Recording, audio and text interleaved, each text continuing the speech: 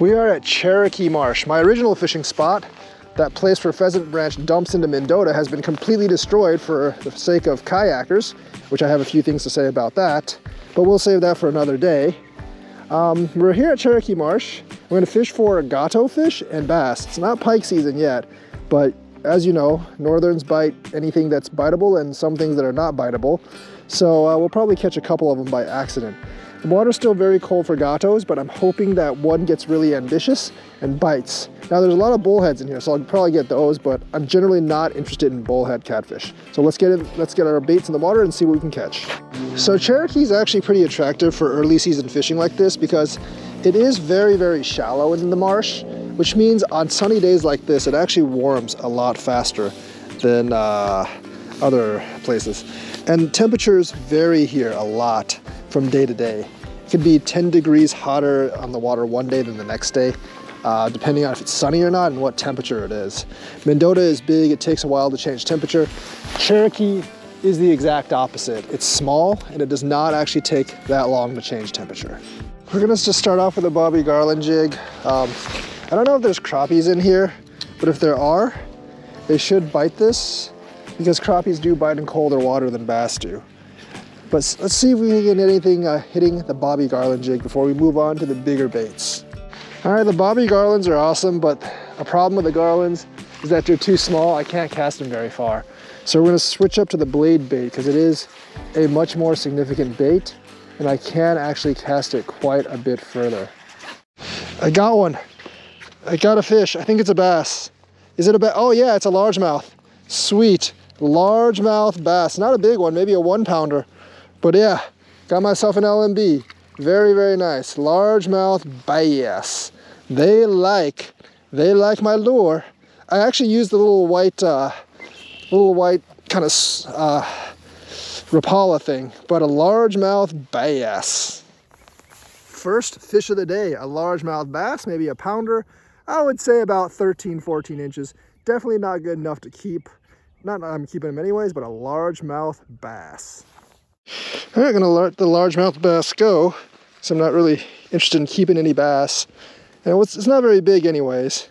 It's maybe like a pound, maybe a little less, but nice bass.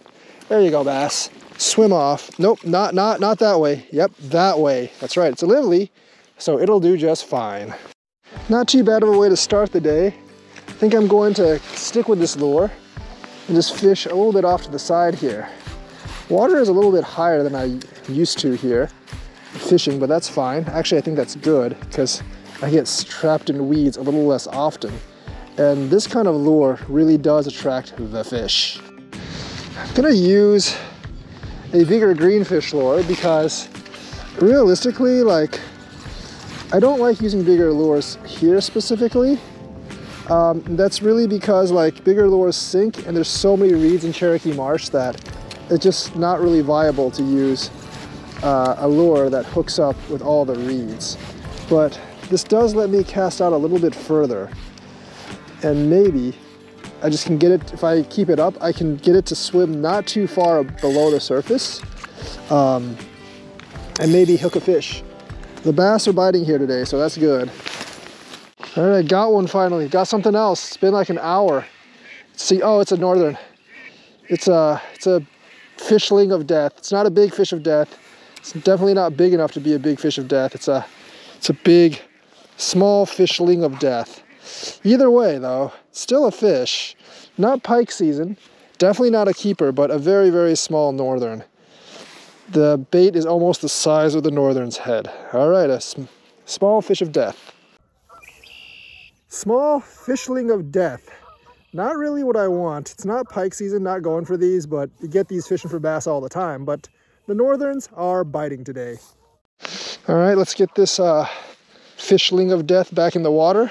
It's pretty deadly, but not so deadly yet. It's too small. There you go, fishling of death. There it goes. Realistically, none of the pike in the marsh are really that big. They're all like, they're, they're a little bigger than that for the most part, but they're not that big. By the way, I think that's the first time I've caught something on this particular lure. The white ones usually do better. The darker color ones, fish don't seem to like quite as much.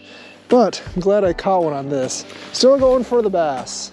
I know they will bite these things. They'll bite the Bobby Garlands as well. The Bobby Gar, these just have a much better hookup rate than the Garlands though.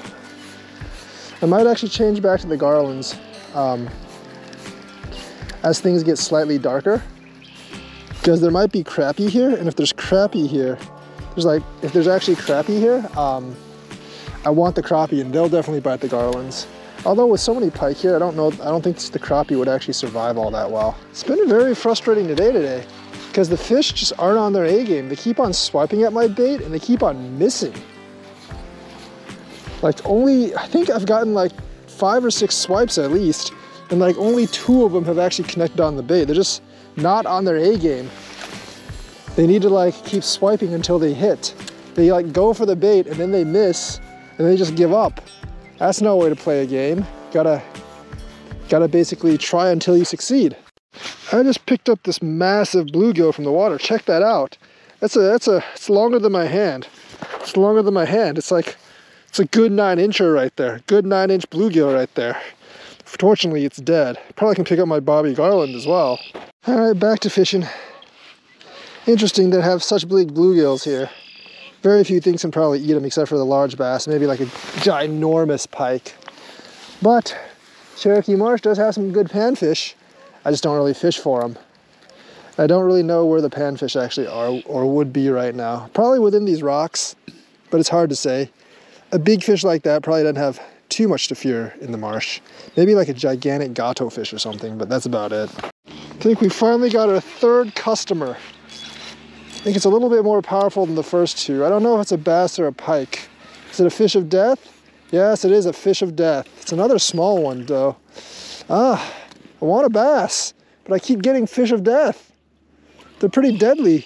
Well, they're not really all that deadly. They're like really, really small actually. But check that out, another fish of death.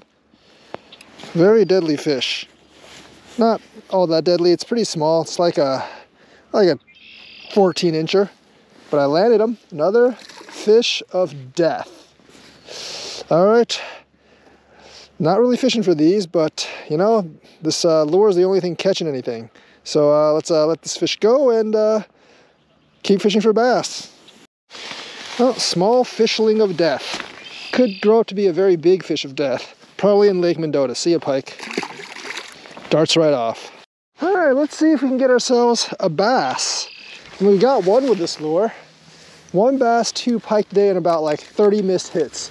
I don't know if those missed hits were pike or bass because they're both in here. There's a lot of pike in here though, and that's problematic because since there's actually a lot of pike in here, like it's harder to get the bass because the pike basically just bite everything. They're incredibly aggressive. They're kind of like the gars of the north. And that's actually kind of bad. My catfish poles haven't done anything either. Really hoping for a big gato fish as well. But honestly, the water might just be a little too cold these days for a gato fish. Seems like I've got another dink on my hands. Is that a bass? Is that a bass or is that a fish of death? It's a bass! It's another one! All right, another largemouth bass. Sweet, another pounder or so. Both caught on the same lure, but another, largemouth bass. Awesome, awesome. Second bass of the day, second bass of the day. Another one, slightly smaller than the first one, but another largemouth bass, second bass of the day. Not only pikes, but bass are hitting too. All right, you bass of largemouth goodness. Going back in the water. That was a fun catch, fun catch. See you, bass. And it wiggles right off. Oh, that was good. The only thing I'm missing now from my day is the catch of a very large gato-ish fish, which honestly the water just might be too cold because not even the bullheads are biting right now. And you know those things bite just like crazy whatever, but like most gato fish, they're warm water creatures. I think the larger ones are warm water as well. So let's keep fishing for a little bit more. Maybe a more gato-ish fish will bite. Fishing is pretty relaxing overall. I mean, I think if the marsh weren't so inundated by like tiny little pike, I think you would get actually more bass that bite. But uh, so many tiny pike in Cherokee. And they bite the exact same thing as bass do. So regardless if you're using Bobby Garlands like these type of like swim baits or flicker shads or whatever, you're gonna get plenty of pike bites here. More pike, definitely more pike than bass here. I got one. I got another one at sunset. This one's like, I think it's another northern. Yep. It's another fish of death. Is that is that a bass or no? Yeah, it's a fish of death. I was excited. I was like, man, dang, that's a that's a big bass. But no, it is indeed another fish of doom, the fish of death.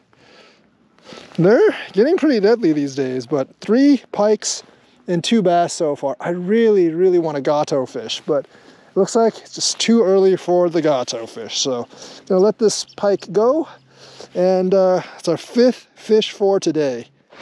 This one's slightly a little bigger, maybe like an 18, 20 incher. Bleeding a little bit at the mouth because of the hook, but not what I wanted to catch. Still going after larger smallies, but we can just get this pike in here and have it off. All right, I guess we're fishing to the dusk. I know sometimes the bass do actually bite after uh, sunset.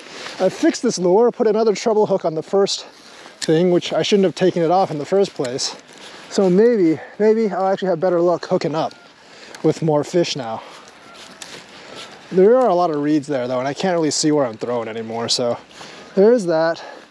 But now I have two treble hooks on like there should have been, and it's actually swimming, the swim action is a little bit better now, so maybe we'll have more fish biting.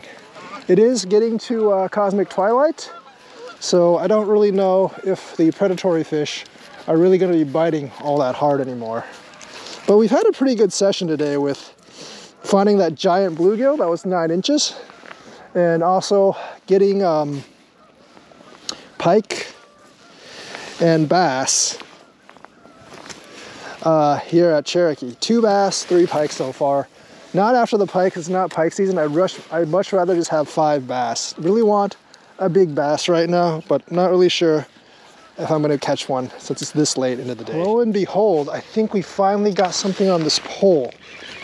Yeah, that's definitely a fish, but I think it's a bullhead gato fish because uh, it's not big enough to be anything else and it's fighting exactly like a bullhead. Could be a pretty big bullhead though. It did actually have some pull on the line, but it's definitely a bullhead gato fish. It's a lesser catfish. A lesser catfish. It's a fat one though. All the bullheads here, oh, that's a pretty good one. All the bullheads here, maybe like a pound or so, but it's a fat bullhead. Not what I want though. Definitely not what I want. A really fat bullhead gato fish. It is a catfish, but it's a lesser catfish. A bullhead catfish. One pound though. These get pretty big here, uh, and they, in Mendota they get way bigger than this, but a one pound bullhead. All right, this is gonna end the day. It's another bullhead gato fish. Fishing with worms just is really not going to uh, get me too much these days, except for bullhead catfish. And so I'm not really that interested in bullheads. That's gonna do it for today. This one is rather large. Actually, this one, this one actually might be bigger than the first one. These, these guys are chunky. These guys are very, very chunky. Bullhead catfish. It's a pretty big bullhead, probably like 1.2, 1.4, maybe even one and a half pounds. All right, bullhead, see ya.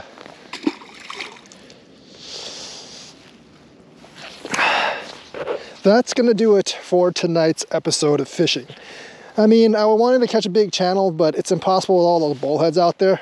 They're pretty big. If you like eating bullheads, not a bad place after dark, but I'm not interested in eating bullheads. I want a big channel catfish and that would just destroy all my bait immediately. Gets hit every like two minutes. So uh, we're gonna go home, but uh, Cherokee Marsh is brimming with fish. Not pike season yet, but there are good bass here to catch. You'll catch like pike by accident, obviously, because they're here everywhere.